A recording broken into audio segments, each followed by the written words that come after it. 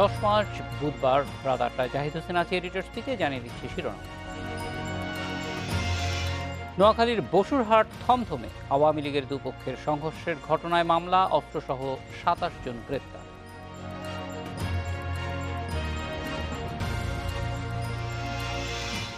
দেশে একদিনে করোনা শনাক্ত আবার হাজারের বেশি। দুই মাস আগে চারজনের শরীরে মিলেছে নতুন ধরন।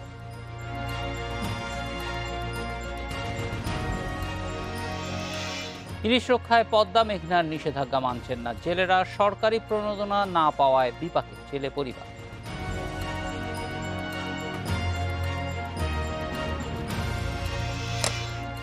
নোয়াখালীর বসুরহাটে আওয়ামী লীগের দুপক্ষের সংঘর্ষের ঘটনায় আটানব্বই জনের নামসহ অজ্ঞাত দেড়শো জনের বিরুদ্ধে মামলা করেছে পুলিশ। এর আগে অস্ত্রসহ সাতাশ জনকে গ্রেপ্তার করা হয়। অপ্রীতিকর পরিস্থিতি এড়াতে পৌর এলাকায় জারি করা হয়েছে একশো ধারা। এ নিয়ে কথা বলতে উত্তরা থেকে আমাদের সঙ্গে যোগ দিচ্ছেন ডিবিসি নিউজের সম্পাদক জায়দুল হাসান পিন্টু এবং নোয়াখালী থেকে আমাদের সঙ্গে আছেন সহকর্মী আবু নাসের। জায়দুল হাসান, আপনার কাছে প্রথমে আসতে চাই যে নোয়াখালীতে আসলে একটা লম্বা সময় ধরেই আমরা দেখছি যে অস্থিতিশীলতা বিরাজ করছে এবং এটি এটি আওয়ামী লীগের দুটি পক্ষের মধ্যেই মূলত এই সংঘর্ষের ঘটনাগুলি ঘটছে। এক্ষেত্রে প্রশাসন এবং দল দুই পক্ষ থেকেই আমরা খুব কার্যকর কোনো পদক্ষেপ দেখছি না।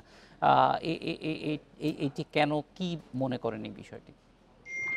ধন্যবাদ আপনাকে।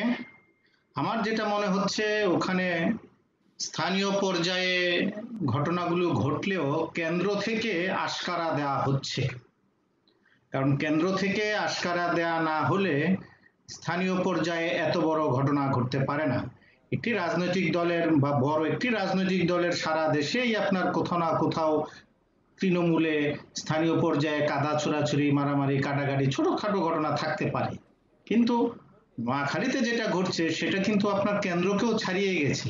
আপনার ঢাকা শহরেও বা বড় কোনো জায়গায়ও এত বড় বিরোধ দেখা যাচ্ছে না।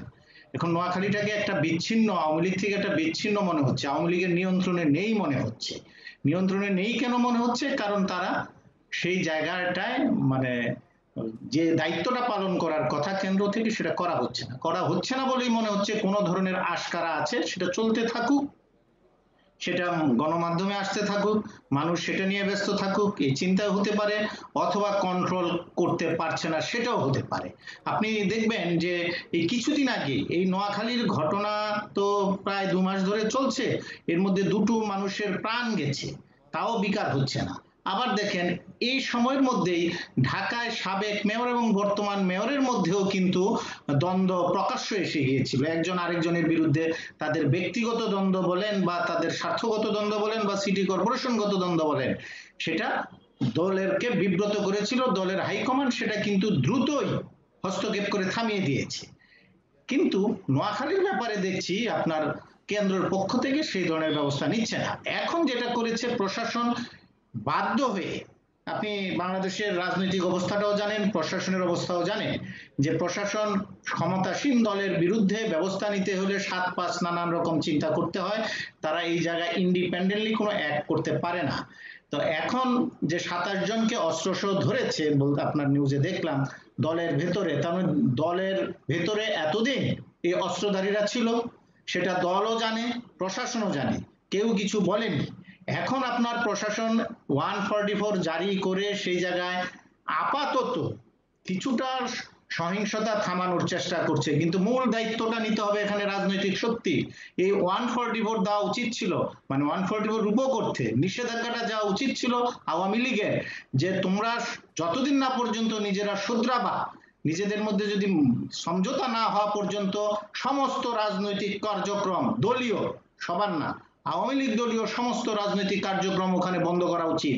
বিশেষ করে যে উনিশ তারিখ যে ঘটনা ঘটেছে, একজন সাংবাদিকের মৃত্যু, তারপর এর মধ্যে আরেকজনের মৃত্যু, আগামীকাল বা পরশু যে আরেকজনের মৃত্যু হবে না, এই নিশ্চয়তা কিন্তু ক্ষমতাসীন দল দিতে পারছে না। সো আমি মনে করি, এই বিষয়টা তারা যে জিয়ে রাখছে আলটিমেটলি ওই জায়গার মানুষ বিরক্ত হচ্ছে, দলের তৃণমূলের কর্মীরা বিব্রত হচ্ছে, কেন্দ্র পর্যায় থেকেও বিব্রত হচ্ছে, কিন্তু কেন এটা থামানো হচ্ছে না? কার ইঙ্গিতে হচ্ছে? এইটা আমি মনে করি দলের হাইকমান্ড থেকে যদি নির্দেশনা দেওয়া না হয়, এটা আপাতত থামার আমি কোনো লক্ষণ দেখছি না। জাদুল হাসান, একটা তো গেল যে এইখানে যারা দলের বিভিন্ন পর্যায়ের নেতাকর্মী আছেন, স্থানীয় নেতাকর্মী তাদের মধ্যে এইটার থেকে প্রশাসন যে অবস্থানটা নিচ্ছে সেটা থেকে দেখা যাচ্ছে যে অন্য জায়গায়, বিশেষ করে অন্য দল যখন রাজনৈতিক কর্মকাণ্ডে আসে, তখন যেই ব্যবস্থা নেওয়া হয়, সেরকম ব্যবস্থা নেওয়া হচ্ছে না। ফলে প্রশাসনের মধ্যে যে অন্য দলকে ভিন্নভাবে দেখা, সেইটা এক্সপোজ করছে কিনা এই ঘটনায়? এটা তো পরিষ্কার। আপনাকে আমি একটু আগেই বললাম যে, ক্ষমতাসীন দলের বিরুদ্ধে ব্যবস্থা নিতে বাংলাদেশের প্রশাসন সব সময় সাত পাঁচ চিন্তা করে। এটা এই সরকারের আমলে বিষয়টা তা না। সব সরকারের আমলেই সরকারের হয়েই প্রশাসন কাজ করে। আর এটা দলীয়করণটা অন পর্যায়ে যায় কোনো রকমের ব্যবস্থা যদি নিতে যায়, ধরেন ওই জায়গার এসপি, ওসি হয়, দলকে সন্তুষ্ট করে ওখানে আছে, নয়তো আরও দলের কেন্দ্রকে সন্তুষ্ট করে আছে, অথবা প্রশাসনের ঊর্ধ্বতন কাউকে সন্তুষ্ট করে তাদেরকে থাকতে হচ্ছে। ইন্ডিপেন্ডেন্টলি অ্যাক্ট করার মতো পরিস্থিতি বাংলাদেশের প্রশাসনকে আমরা রাজনৈতিক শক্তিগুলো কখনোই দেইনি। যে কারণে পুলিশ বলেন অথবা অন্য কোনো জেলা প্রশাসন বলেন, সে ব্যবস্থা নিতে গেলে তার পরবর্তীতে তার বিরুদ্ধে কি ব্যবস্থা নেওয়া হবে, এটা তো ওনারা ভালো করেই জানেন। সো ইয়ার ইঙ্গিতে রাজনৈতিক সংগীত শক্তির ইঙ্গিতের বাইরে তারা কোনো ব্যবস্থা নিতে পারছেন না। ওই ধরনের শক্ত প্রশাসন যে আমরা দলমত নিরপেক্ষভাবে আমরা অ্যাক্ট করব, সেটা বাংলাদেশের রাজনৈতিক শক্তি কখনোই প্রশাসনকে দেয়নি। জাদুল হাসান, আমাদের সঙ্গে থাকুন। আমরা একটু পরিস্থিতি জানতে চলে যাব আমাদের সহকর্মী আবু নাসেরের কাছে। আবু নাসের সংঘর্ষের পরে এখন ওই এলাকার অবস্থান কি এবং নেতাকর্মীরা কি ধরনের অবস্থান নিয়েছেন? মূলত গতকাল সন্ধ্যার পর থেকে মধ্যরাত পর্যন্ত দফায় দফায় যে সংঘর্ষ চলে, এই সংঘর্ষে হতাহতের ঘটনা ঘটে এবং এরপর থেকেই আসলে একশো চুয়াল্লিশ ধারা সেখানে জারি করা হলো। কার্যত সেটি এক ধরনের হরতালের সময় কঠিন হরতালের সময় যে পরিস্থিতি বিরাজ করে, সেরকম একটা পরিস্থিতি বিরাজ করছে মানুষের মধ্যে। ভয়, আতঙ্ক, ক্ষোভ, হতাশা, সবগুলোই একসাথে কাজ করছে।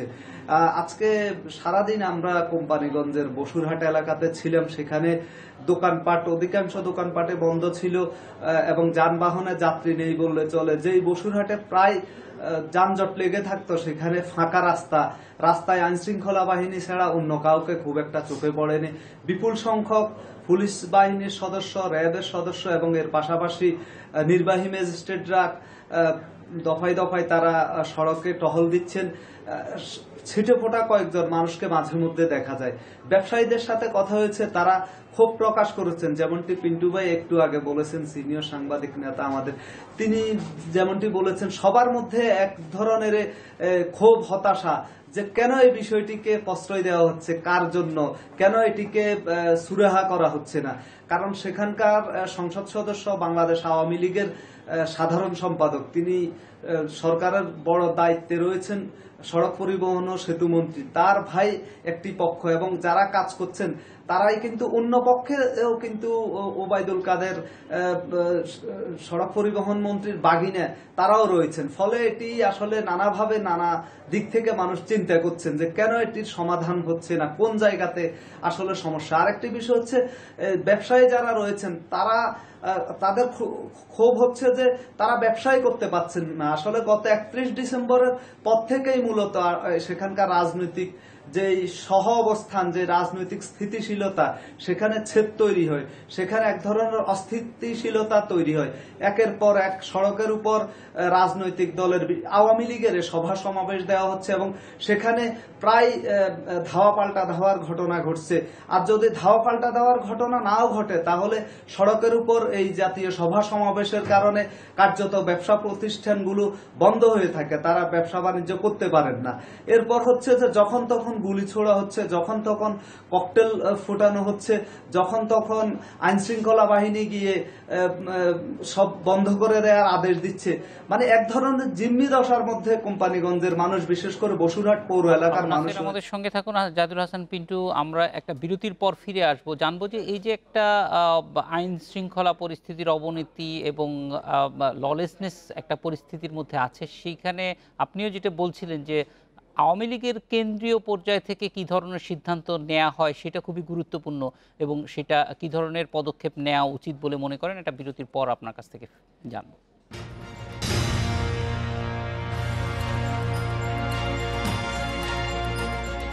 দেশের চারজনের শরীরে নতুন ধরনের করোনা ভাইরাস পাওয়া গেছে। যার সঙ্গে যুক্তরাজ্য ও সাউথ আফ্রিকার ধরনের সঙ্গে মিল রয়েছে। দুই মাস আগে এটি শনাক্ত হয়েছে বলে জানিয়েছে আইইডিসিআর। তবে দেশে ব্যবহৃত অক্সফোর্ডের করোনা টিকা এই নতুন ধরন প্রতিরোধে সক্ষম বলছেন স্বাস্থ্য অধিদপ্তরের মহাপরিচালক A B M Khurshid Alam. এ নিয়ে কথা বলতে আমাদের সঙ্গে যোগ দিচ্ছেন চিকিৎসা বিজ্ঞানী ও শিক্ষাবিদ অধ্যাপক ডক্টর লিয়াকত আলী। স্বাগত লিয়াকত আলী। জানতে চাই যে দু মাস আগে চারজনের শরীরে নতুন ধরনের করোনা পাওয়া গিয়েছে, সেটি আসলে এতদিন পরে আমরা জানছি, এটি কীভাবে দেখছেন? আমার মনে হয় যে সার্ভেলেন্সটা আরও শক্ত হওয়া দরকার। অর্থাৎ দু মাস দেরি করাটা উচিত নয়। আমাদের যেটি এখন খুব জরুরি যে, কিছু কিছু স্যাম্পল রুটিনলি পাঁচ শতাংশ, দশ শতাংশ স্যাম্পল বিভিন্ন জায়গা থেকে দেশের বা বিশেষত যখন বাইরে থেকে কেউ আসছে, তাদেরটা সিকোয়েন্সিং করা এবং সিকোয়েন্সিং এর সাথে সাথে সেটার যে সাইন সিমটম রোগের উপসর্গ সবকিছু মিলিয়ে দেখা যে ভিন্ন কিছু হচ্ছে কিনা। এবং এই ব্যাপারটি অত্যন্ত জরুরি এবং যথাযথভাবে রিপোর্ট করা এবং সেইখানে যেটাকে বলা হয় যে আইসোলেশন করা এবং সেই ক্ষেত্রে দরকার হলে কোয়ারেন্টাইন করা এবং যেটাকে বলা হয় আমাদের ট্রেস ট্রেস করা ট্রেসিং যেটাকে বলি আমরা হ্যাঁ যে তারা উৎস কোথায়। এবং এই যে গুচ্ছ ব্যবস্থাপনা, এটি হচ্ছে রহস্য এখন। আমার মনে হয় এটি দেরি করা যেটুকু হয়েছে, দেরিটা অভিপ্রেত নয়। আমার মনে হয় যেটি আরও নিয়মিত মনিটরিং করা এবং সার্ভেলেন্স করা অত্যন্ত জরুরি। অধ্যাপক লিয়াকুল আলী, আমরা গত কয়েকদিন দেখছি যে কোভিড রোগী শনাক্তের হারটা ঊর্ধ্বমুখী এবং মানুষের মধ্যেও কোভিড সম্পর্কে এক ধরনের উদাসীনতা আছে। সব মিলিয়ে আমরা আবার নতুন করে একটা বিপদের দিকে নিজেরাই ঝুঁকছি কিনা? সম্ভাবনা একদম উড়িয়ে দেওয়া যায় না। মাননীয় প্রধানমন্ত্রীও কিন্তু এই সাবধান বাণীটা উচ্চারণ করেছেন। এবং আসলে এটি দুটোই ব্যাপার ঘটতে পারে যে, নতুন ধরনের যদি স্ট্রেন আসে, তাহলে যতই আমাদেরকে আশ্বস্ত করা হোক না কেন, সব স্ট্রেনে যে সব ভ্যাকসিন কাজ করবে এমন কোনো কথা নয়। এটি সাউথ আফ্রিকাতে তার উদাহরণ রয়েছে যে অক্সফোর্ড অ্যাস্ট্রাজেনেকা কোন কোন স্ট্রেনে দশ শতাংশ কাজ করেছে। সুতরাং আমাদেরকে আত্মপ্রসাদে ভাবলে চলবে না। আমাদের একই সঙ্গে ভাবতে হবে যে স্ট্রেনগুলো সত্যি সত্যি ভ্যাকসিনের প্রতিরোধ হচ্ছে কিনা এবং কোন স্ট্রেন কোন ভ্যাকসিনে সক্ষম সেই ব্যাপারটি, কোন ভ্যাকসিন কোন স্ট্রেনের বিরুদ্ধে সক্ষম এই ব্যাপারটি আরও তলিয়ে দেখতে হবে। দ্বিতীয়ত হচ্ছে যে আমাদের এই যে বৃদ্ধির প্রবণতার সঙ্গে আমাদের যে উদাসীনতা, সেটা আমরা বলব শুধু যে ব্যক্তি লেভেল না, ব্যক্তি, পরিবার, সমাজ, রাষ্ট্র সব লেভেলেই কিন্তু এক ধরনের একটা যেটাকে বলে আত্মপ্রসাদের মধ্যে আমরা চলে গিয়েছিলাম, তাই না? সেই আত্মপ্রসাদ থেকে বেরিয়ে আসতে হবে। কারণ এখনও যে ভ্যাকসিন সেটি মাত্র তিন শতাংশ লোকের মধ্যে আমাদের গিয়েছে। এখনও কিন্তু কোনোভাবেই আমরা যেটাকে বলে হার্ড ইমিউনিটি প্রতিরোধের দিকে যায়নি সুতরাং আমাদের যে স্বাস্থ্যবিধি, বিশেষত ভ্যাকসিন যারা পেয়েছেন তাদেরও এমনকি মাস্ক পরা যাতে অন্যকে আমরা সংক্রমিত না করি, আমাদের যে হাত ধোয়া ইত্যাদির অভ্যাস, আমাদের সামাজিক যে বিষয়গুলোকে যতদূর সম্ভব কিছুটা পরিহার করা সামাজিক যতদূর সম্ভব। আমাদের সবকিছু আমরা আবার রিভার্স করতে পারব না, যা আমরা বুঝি।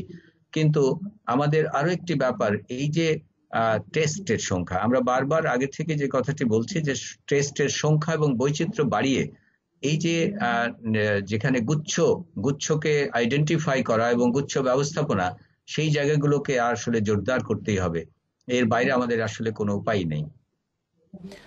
টিকা দেওয়ার ব্যবস্থাপনা যেমন খুব ভালো, একই সঙ্গে আমরা দেখছি যে মানুষের মধ্যে টিকা দেওয়ার আগ্রহটা দিন দিন যেখানে বাড়ার কথা সেখানে আমরা বাড়তে দেখছি না। এই ক্ষেত্রে কি করণীয় আছে আপনার মনে হয়? আমার তো আমরা এই অনুষ্ঠানে আগেও আলাপ করেছি যে সরকারের অনেক সফলতা রয়েছে ঠিকই, কিন্তু কোভিড ব্যবস্থাপনার শুরু থেকে টিকা ব্যবস্থাপনায় অনেক সফলতার মধ্যে ওই বিফলতাটা থেকেই গেছে। সেটাকে বলা হচ্ছে জনসম্পৃক্ততা। জনসচেতনতা এক জিনিস, জনসম্পৃক্ততা আরেক জিনিস। জনগণকে ওন করতে হবে তার স্বাস্থ্যের বিষয়টি। আমরা শুধু সচেতন করার কথা বলেছি, কিন্তু আমি আগেও বলেছিলাম যে, এমনকি যখন বাজেট করা হলো ভ্যাকসিনেশনে তখন সেখান থেকে কমিউনিকেশন বাজেটটা কেটে ফেলা হয়েছিল অর্থ মন্ত্রণালয় থেকে। সেই কমিউনিকেশন কিন্তু আজ পর্যন্ত এমন ভাবে করা হচ্ছে না যে, যেখানে জনসম্পৃক্ততা তৈরি করা, যে স্থানীয় লেভেলে প্রান্তিক পর্যায় পর্যন্ত এই যে কমিটি করা এবং সেখানে সর্ব ধরনের জনপ্রতিনিধি কিংবা স্বাস্থ্যসেবী কিংবা আমাদের যে মিডিয়া পার্সোনালিটি যেমনকি ধর্মীয় নেতৃত্ব, স্থানীয় সামাজিক নেতৃত্ব, শিক্ষাবিদ, সবাইকে অন্তর্ভুক্ত করে কিন্তু সেইভাবে যেটাকে বলা একটি আন্দোলন, সামাজিক আন্দোলনে পরিণত হওয়ার আমরা কোনো লক্ষণ দেখি না। অন্য ক্রাইসিস যেভাবে এনজিওরা যেভাবে এগিয়ে আসে, এখানে কিন্তু সেভাবে দেখছি না। সুতরাং আমরা কিন্তু এখনও জনসম্পৃক্ততা তৈরিতে সফল নই। কাজে ভ্যাকসিন যদি এসেও থাকে আমাদের টেকনিক্যাল দক্ষতা যদি তৈরি হয়, আমাদের কিন্তু এই ব্যাপারে ব্যর্থতা থেকে যেতে পারে।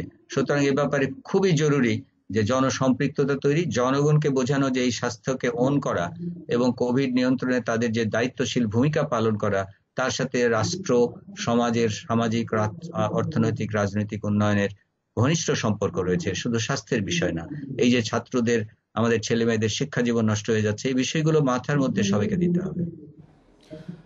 অধ্যাপক লিয়াকত আমরা যেটা দেখছি যে এক ধরনের শ্রেণি বৈষম্য তৈরি হয়ে যাচ্ছে, এটা ইচ্ছাকৃত হয়তো না, কিন্তু এইটি আপনি যেটি বলছেন যে কমিউনিকেশনটা ঠিক মতো না হওয়ার ফলাফল হিসেবেই মনে হয় এটি তৈরি হচ্ছে। এখনও পর্যন্ত যদি আমরা দেখি যে টিকা গ্রহণকারীদের শ্রেণি অবস্থান, তাহলে সেটা একটা শ্রেণির মধ্যেই সীমাবদ্ধ থাকছে। এটা এই সিলিংটা ভাঙার দায়িত্ব নিশ্চয়ই সরকারকেই নিতে হবে। হ্যাঁ এটি তো ব্যাপার হলো কি যে আমরা যখন বলছি গণসম্পৃক্ততা, জনসম্পৃক্ততার প্রশ্ন, নেতৃত্ব তো সরকারকেই নিতে হবে। এবং সরকারের এই যে সবাইকে নিয়ে একসঙ্গে কাজ করার জন্য যে, যেটাকে বলছি সামাজিক আন্দোলন গড়ে তোলা, সেই নেতৃত্ব সরকারকে নিতে হবে। আসলে কোভিড কিন্তু সারা দুনিয়াতেই রাষ্ট্রে রাষ্ট্রে, সমাজে সমাজে, সামাজিক শ্রেণীতে এবং সামাজিক শ্রেণীতে বা বৈষম্য বাড়িয়ে দিয়েছে। এটা সবাই জানি আমরা। সুতরাং আমাদের খুবই দ্রুত এটি ভাঙতে গেলে যে দরিদ্রতর শ্রেণি যারা মনে করছে, যাদেরকে ভাবা হচ্ছে যে তারা ইমিউন হ্যাঁ সত্যি বলতে কি কোমরবিডিটি হয়তো তাদের মধ্যে রিলেটিভলি কম আছে। কিন্তু যে কোনো সময় নতুন স্ট্রেন এসে নতুন আঘাত আনতে পারে, যেখানে হয়তো কোমরবিডিটি ছাড়াও অন্য ফ্যাক্টরগুলো গুরুত্বপূর্ণ হয়ে উঠবে। এবং এটি একটি মনে রাখতে হবে যে কোভিড উনিশ একটি দীর্ঘস্থায়ী ব্যাপার। আমরা যদি ইরাডিকেট যেটাকে বলা হয় সম্পূর্ণ নিশ্চিন্ন করা, আগের অভিজ্ঞতা বলছে যে স্মল পক্স বা অন্যান্য যেগুলো আমরা ইরিডিকেট করেছি, সেগুলোকে কত বছর লেগেছে? কোভিড উনিশ হয়তো এক ধরনের একটু বিপজ্জনক ইনফ্লুয়েঞ্জা হিসেবে থেকেই যাবে। হয়তো বিপদ কমে গেছে সিভিয়ার ডিজিজ বা তীব্র অসুখ হয়তো থাকল না, কিন্তু আমাদেরকে তো ভোগাবে সুতরাং নিচের শ্রেণি যেটা আমরা যাদেরকে বৈষম্যের শিকার করে তুলছি, এই ব্যাপারে যদি এখনই সচেতন না হয়, তাহলে তো আমরা কেউই নিরাপদ থাকব না, তাই না? যত, যারা আমরা আত্মপ্রসাদে ভুগছি, কোনো রাষ্ট্রও থাকবে না, কোনো সমাজও থাকবে না, কোনো সামাজিক শ্রেণীও থাকবে না। সুতরাং আমরা, আমাদের সবাইকে নিয়ে এটি কাজ করতে হবে। অনেক কাজ এবং এক্ষেত্রে আসলে বিশেষ করে স্বাস্থ্য অধিদপ্তর এবং স্বাস্থ্য কর্মকর্তা কর্মচারী যারা আছেন তাদেরকে যদি সম্পৃক্ত করা যায় একদম শেষ পর্যায়ের মানুষ যারা আছে প্রান্তিক পর্যায়ের মানুষ যারা আছে তাদেরকে এই নেটওয়ার্কের মধ্য দিয়েই টিকাদান কর্মসূচিতে সম্পৃক্ত করানো। অধ্যাপক লিয়াকত আলী অনেক ধন্যবাদ আমাদের সঙ্গে যোগ দেওয়ার জন্য। এডিটর স্পিকে নিচ্ছে আরও একটা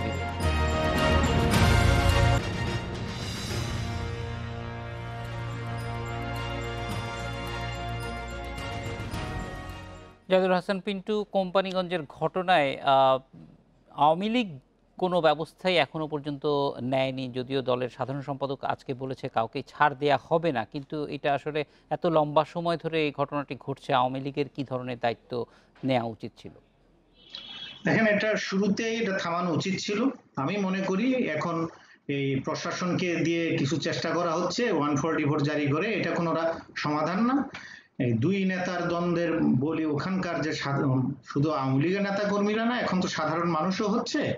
এটা প্রশাসনিক সমাধানের বাইরে এটা আসলে পুরোপুরি রাজনৈতিক সমস্যা রাজনৈতিকভাবেই সমাধান করতে হবে। এখন আপনি বলতে পারেন যে কীভাবে করবে? এখন স্থানীয়ভাবে এটা সম্ভব না। কারণ ওখানকার একজন নেতা তো আজকে ওবায়দুল কাদেরকেও রাজাকার পরিবারের সন্তান বলেছেন। তার মানে ওনারও শক্তি কিন্তু দলের ভিতরে ভালোই আছে। নয়তো এত বড় কথা বলার পরও উনি কীভাবে আপনার থাকেন তাই না? তো আমি মনে করি এখন আওয়ামী লীগের কেন্দ্রীয় পক্ষ থেকে একটা কমিটি গঠন করে দিতে পারে যেই কমিটি উভয় পক্ষকে নিয়ে বসে সমাধান বের করবে। যতক্ষণ না পর্যন্ত সমাধান বের হবে ততক্ষণ পর্যন্ত নোয়াখালীর ওই অঞ্চলের আওয়ামী লীগের রাজনৈতিক কার্যক্রম স্থগিত থাকবে। কারণ দু দুটো প্রাণ চলে গেছে বেশ কয়েকজন গুলিবিদ্ধ হয়েছে। আর প্রাণ যদি হারাতে না চান আর যদি কাউকে গুলিবিদ্ধ হতে না হয় আওয়ামী লীগের স্থানীয় রাজনীতি ওখানকার স্থগিত না করা পর্যন্ত আপনার এটা সমাধান হবে না। রাজনীতি বন্ধ রাখতে হবে তাদের। কারণ তারা শান্তিপূর্ণ রাজনৈতিক, রাজনীতি করার অধিকার হারিয়েছে। সো এই মুহূর্তে তাদের রাজনীতি বন্ধ করে সমাধানের পথ খুঁজুক। এই সমাধানের পথ আওয়ামী লীগের কেন্দ্রীয় কমিটির পক্ষ থেকে বের করতে হবে। স্থানীয়ভাবে যে ব্যর্থ এটা তো জানাই গেল।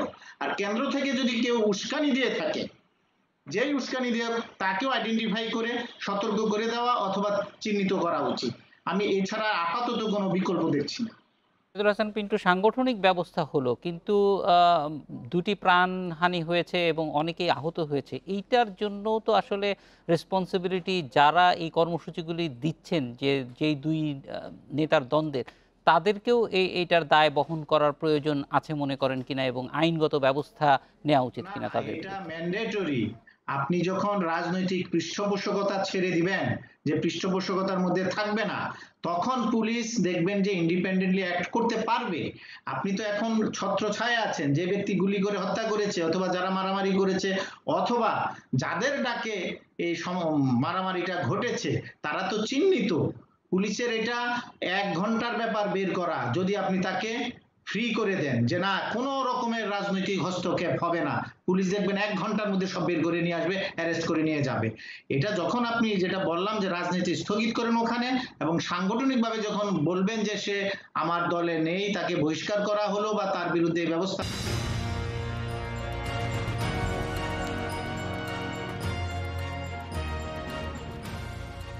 সরকারি নিষেধাজ্ঞায় পদ্মা মেঘনায় পাঁচ অভয়ারণ্যে চলছে মাছ শিকারের উপরে। তবে নিষেধাজ্ঞার এ সময়ে লক্ষ্মীপুরে মাছ ধরতে নদীতে ছুটেছেন অনেক জেলে। এ নিয়ে কথা বলতে ফার্মগেট থেকে আমাদের সঙ্গে যোগ দিচ্ছেন ইলিশ গবেষক অধ্যাপক নিয়ামুল নাসের। স্বাগত নিয়ামুল নাসের। আমরা জানি যে ইলিশ ধরা বন্ধ রাখার জন্য যে প্রোগ্রাম এটির সুফল বাংলাদেশ পাচ্ছে কিন্তু তার বছর তারপরেও প্রতি বছরই আমরা দেখছি যে এই সময়টায় জেলেদের নিবন্ধন নিয়ে প্রশ্ন হচ্ছে এবং অনেক সময় তারা ঠিকমতো তাদের যে প্রাপ্য সেটি না পাওয়ায় নদীতে যাচ্ছেন এবং অনেকে অনিবন্ধিত জেলে বা এই সময়ে মাছ শিকারে যাচ্ছেন। এটা আসলে রোধ করা যায় কীভাবে?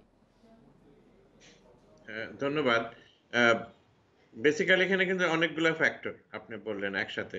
যেটা হচ্ছে যে নিবন্ধন অনিবন্ধিত। কারণ আমাদের যখন আমরা কাউকে সাহায্য করব বা আমরা যখন সহায়তা দিব, তাদেরকে তো নিবন্ধিত হতে হবে। তো প্রক্রিয়াটা চলছে। এখন প্রশ্ন হলো যে এখানে অনিবন্ধিত কয়জন বাদ গেল? কারণ আমাদের প্রক্রিয়াটা কিন্তু অনেক আগে থেকেই শুরু হয়েছে, মৎস্য অধিদপ্তর শুরু করেছেন।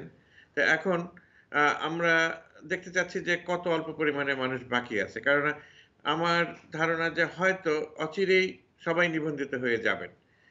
কিন্তু যেটা দেখা যাচ্ছে প্রতি বছরই কিন্তু একটা মানে একদল বলে থাকেন যে সে সহায়তা পাচ্ছে না, সাহায্য পাচ্ছে না। কারণ সরকারি কিন্তু একটা খুব বড় প্রোগ্রামে কিন্তু ইলিশের এই এই এই সময় কিন্তু এই সহায়তা দান প্রকল্পের মধ্যে, মাধ্যমে কিন্তু করা হয় বা দান, সাহায্য করা হয়।